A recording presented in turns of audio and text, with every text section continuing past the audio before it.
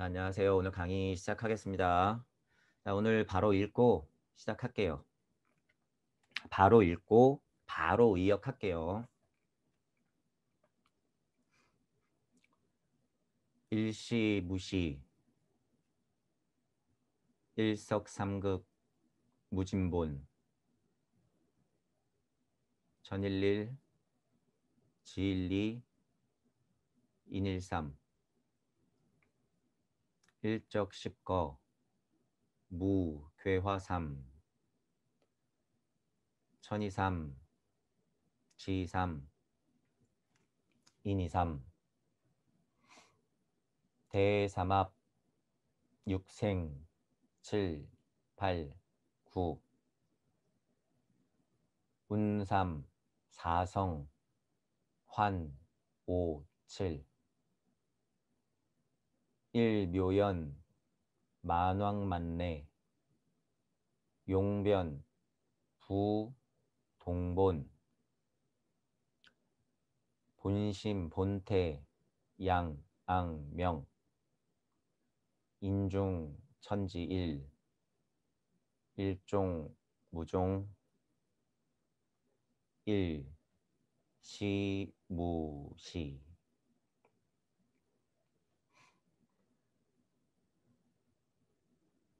하나의 시작됨은 무가 시작되면서 동시에 이루어졌구나. 그 하나는 나뉘어서 세 개의 극인 요소로 되는데 무에서 무언가 작용이 된 것이 근본이구나. 천이라고 하는 요소는 그 하나의 극성이 대표가 되는데 그중 첫 번째라고 볼 수 있고 지라고 하는 요소는 그 하나의 극성 중에 두 번째라고 볼 수 있고 인이라고 하는 요소는 그 하나 중에 세 번째라고 볼 수 있구나. 요소의 일들 또는 천지인은 쌓여서 부피가 커지고 파이가 커지고 무게감이 늘어나고 시간과 공간이 탄생되고 많은 시간들이 또한 흘러서 중력과 무게감이 훨씬 더 커지면서 단단해지면 비로소 무는 또 한 번 작업을 하는데 괴화되는 것을 이용해서 삼에게 도움을 주는구나. 천이라는 아이도 천이라는 요소도 자기의 소중한 두 가지를 삼에게 괴화시켜 주고 지라는 근본적인 요소도 자기의 천지를 삼에게 내어주고 인이라는 최고의 근원적인 요소도 자기의 두 가지를 삼에게 주는구나. 그러면 더욱 더 아름답게 뭉쳐진 세계는 드디어 우주 세상인 육방을 여는데 바로 이어서 7의 자리 8방을 열고 9의 자리가 생성되는 것을 알 수 있겠구나. 잘 운행되어지는 세 가지의 요소 또는 잘 운행되어지는 삶은 무가 합쳐진 사성과 더불어 고리를 만들어내는데 그 자리는 5의 자리, 7의 자리로 확장되겠구나. 또한 9의 자리로 확장되어 근원으로 돌아가는 10의 자리까지 도달할 수 있겠구나. 지금까지 우주를 펼쳐낸 일은 참으로 묘하게 끊임없는 에너지로 흘러 넘치고 그런 에너지로서 만 번을 가고 수만 번을 다시 오는구나. 그럼에도 쓰임의 변화가 없고 다만 동한 것이 근본이구나. 다만 왔다 간 것이 근본이구나. 일이 시작했던 태초의 마음과 일이 시작했던 그 근원의 시작점을 알면 양, 앙, 명 할 수가 있겠구나. 그러면 인을 중심으로 이치와 물질 세상이 하나가 될 수 있겠구나. 그러면 비로소 묘하게 흘러넘쳤던 하나는 종하고 끊임없이 바탕이 되어주고 작업을 했었던 무는 따라서 종하는구나. 그리고 다시 일은 시작하고 무는 뒤에서 또 나오는구나.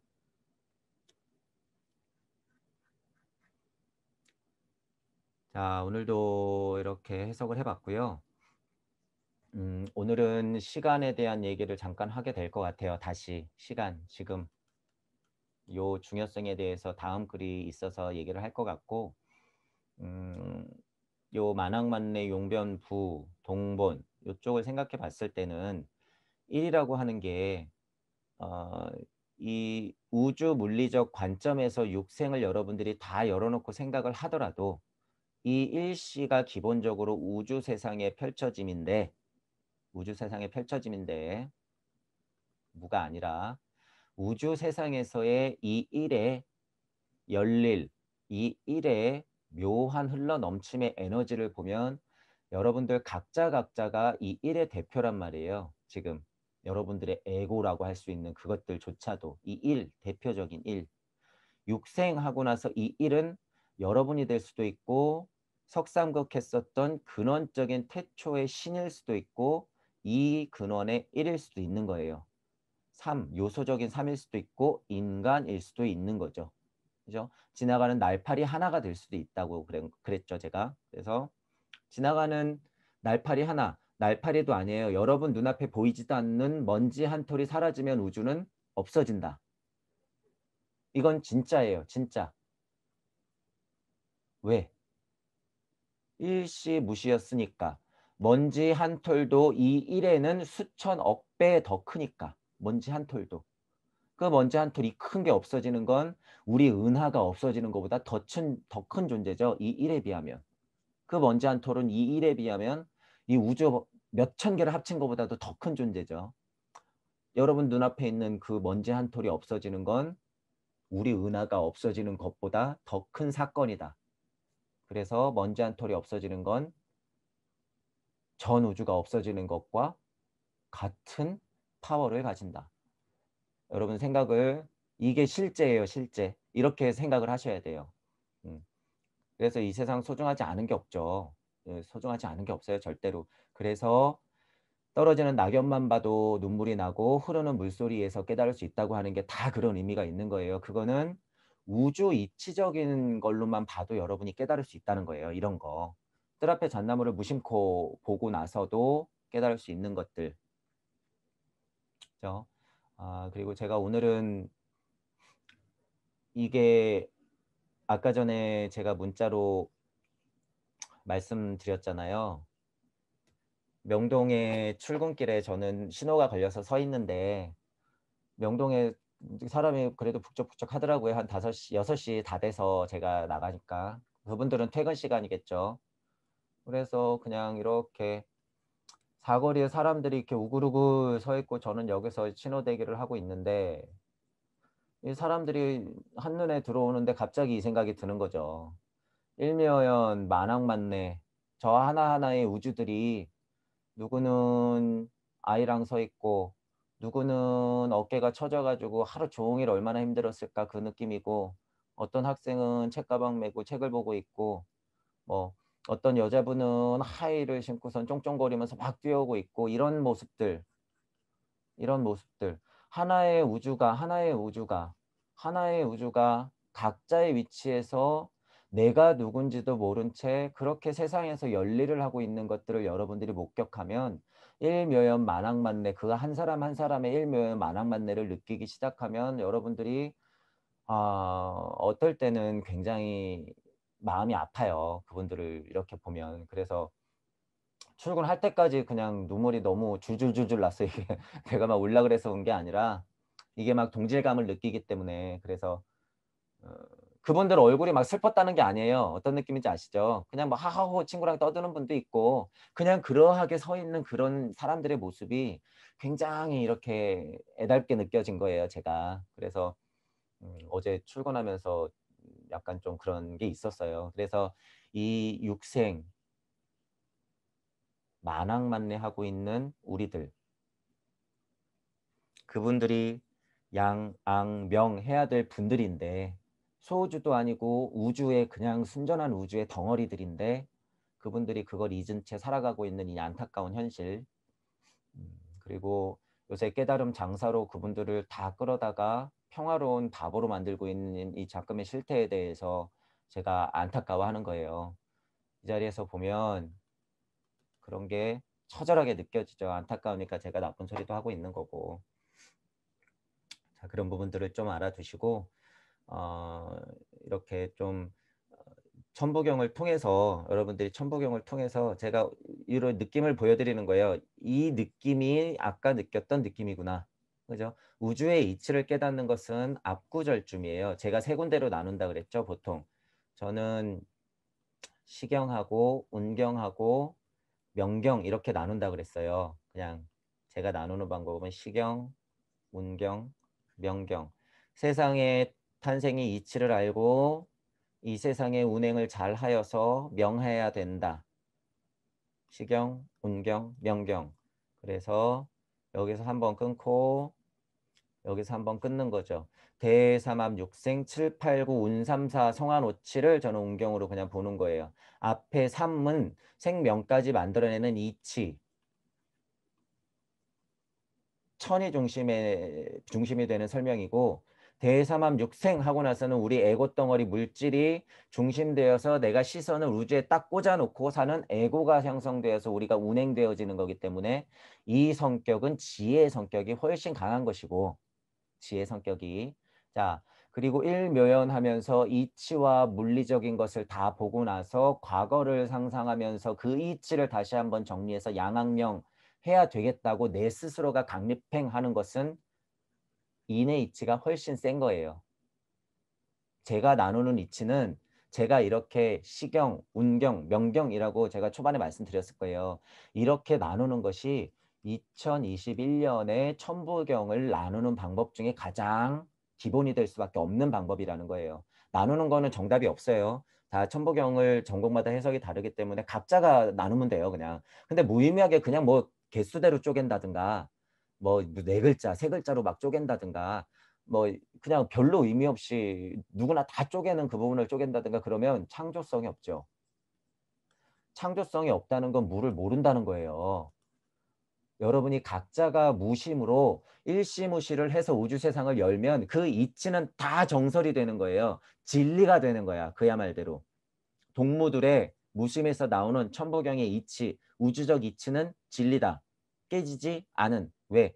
일시 무시에서 시작된 힘이 바탕이 되어 있기 때문에 다만 현실 세상에 우리가 언어와 지식들을 끌어다 설명을 해야 되기 때문에 여기서 어느 정도 오류는 일어날 수 있어요. 하지만 그 화자가 그 작자가 말하고 싶어하는 본심은 오류가 있을 수 없다. 본질은 오류가 있을 수 없다라는 거예요. 일시무시의 힘을 알고 무심으로 얘기를 하면 그래서 이 동무분들 무심을 어느 정도 아시는 분들은 그런 것들에 대해서 두려워할 필요 전혀 없어요. 뭐 나는 실수하겠지 많이 모르겠지 나는 많이 모르니까 말할 자격이 없지 그런 거 없어도 돼요. 그런 거 난 시행착오 겪으라고 육생이 열린 거예요. 그런 거 있으라고 육생이 열린 거기 때문에 그런 것에 대해서 너무 염려 안 하셔도 돼요. 여러분은 그래도 물을 궁금해하는 동물급인데 지금 제가 아까 말씀드렸지만 사거리에 진짜 자기가 누군지도 모르고 그냥 일만 하고 있는 이분들은 이분들은 어떻게 했냔 말이에요. 이분들보다 여러분이 이분들은 죄송하지만 지금 하근기도 아니죠. 중근기는 더더욱이나 상근기도 아니란 말이에요. 이분들은 여기에요 여기. 아무것도 모르는 분들은 여러분은 적어도 하근기, 중근기, 상근기를 넘어오고 물을 궁금해하고 일시무시 어마미소의 힘을 들어는 받고 궁금해하시는 분들인데 어떻게 이분들하고 같이 자리를 놓으면서 잘났다 못났다는 얘기가 아니에요. 선생님, 스승님이 될 수 있는 본인들의 힘을 무시하냔 말이에요. 절대 그러지 않으셔도 돼요. 그런 거 두려워하지 말란 소리예요. 그래서 뭐가 필요하다 그런 거예요. 제가 용기가 필요하다고 하는 거예요. 도대체 언제 지금 안 깨닫고 지금 용기 내지 않으면 여러분 성철 스님처럼 돼요. 죽을 때 다 돼서 헛것이로구나. 제가 여러 번 얘기했잖아요. 여러 번. 그래서 오늘 성철 스님 글을 갖고 왔어요. 그걸 한번 제가 읽어보진 않았는데 한번 볼 거예요. 도대체 그분이 죽기 전에 뭘 깨달았길래 70년을 수행하신 분이 그렇게 천추의 한을 갖고 돌아가셨는지 왜 사는 산이요? 물은 물이로다가 제가 초반 강의 때 그런 것도 몰랐을 때 느낌을 뭐라 그랬어요? 제가 성철 스님의 사는 산이요 물은 물이로다 이것 보고 그분의 깨달음의 위치를 제가 알고 있기 때문에 사는 산이요 물은 물이로다가 여러분 여마미소라든가 뜰앞에 잣나무 그 분도 뜰앞에 잣나무 하시는 분도 이 의미가 강해요 실은. 근데 제가 거기서 우주적 이치를 설명을 해냈기 때문에 수준이 높다고 하는 것이고 사는 산이요 물은 물이로다도 뜰앞에 잣나무하고 똑같죠 산은 산이요 물은 물이로다 하면 우주의 시작을 알리는 게 맞아. 하지만 선철 스님의 뉘앙스는 그냥 무의 자연의 그 약간 오류 우주 세상에서 깨달은 게 정확하단 말이에요. 제가 그래서 성철 스님도 뭐 그냥 약간 죄송하지만 대단치 않다고 제가 초반 강의 때 그랬을 거야. 그 힘이 여기서 나오기 때문이에요 여러분. 그러니까 그분이 저는 몰랐지만 돌아가실 때 유언처럼 남긴 게 후회스럽다는 말이었다며요. 저는 그 얘기하고 나서 알았어요 그걸. 그러니까 이게 여기서 보면 이게 자리들이 다 나눠진다니까요 여러분. 그러니까 여러분도 할 수 있어요 그분을. 제가 그래서 30년 수행, 40년 수행, 50년 수행, 60년 수행, 평생 80년 수행이 이게 얼마나 무의미한 거냐. 이거 계속 말씀드리잖아요 지금. 여러분 지금 이 꼴을 당해봐야 알겠냔 말이에요 이 꼴을. 이 꼴을 당해봐야 알겠어요. 30년 동안 여태까지 헛질을 해놓고선도 앞으로 또 30년. 안 돼요 안 돼요. 이건 진짜 헛질이에요 헛질 헛질이야. 그럴 필요 없다는 거예요, 여러분. 제발 책 덮고 책 덮고 정말 지식이 너무 많으신 분들은 제가 욕하고 있지만 비워야 돼. 제발 좀 비워요. 정말 그분들은. 멀쩡한 평범한 사람 데려다가 비우라고 하지 말고 당신들부터 비워야 돼요, 선생님들. 본인들부터 제발 비워야 돼, 본인들부터. 남한테 비우라고 하지 말고요, 제발. 자, 그런 이치가 있어요. 그래서 오늘은 천부경은 약간 그 시간에 대한 부분들 그리고 성철 스님이 그 시간을 흘러 흘러 흘러 본심 본태를 돌아가시기 적전에 느꼈는지 뭐 했는지 모르겠지만 왜 후회가 된다고 하는지 한번 생각해 볼게요. 글을 보고.